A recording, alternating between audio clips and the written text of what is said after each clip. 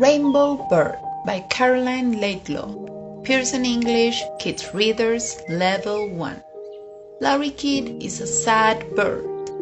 He likes colors. Lorikeet sees red, blue, and yellow flowers. I'm a gray bird.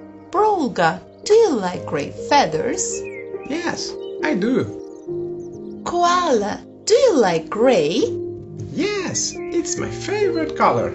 Kangaroo, you have a gray coat. Yes, it's nice.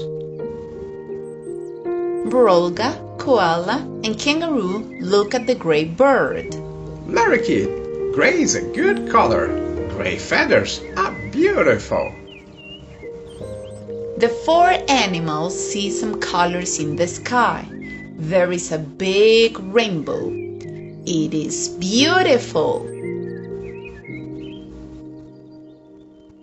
Lorikeet goes up, up, and up. He plays on the rainbow. He sings. He is happy. The friends see a beautiful bird. He has red, blue, yellow, and green feathers.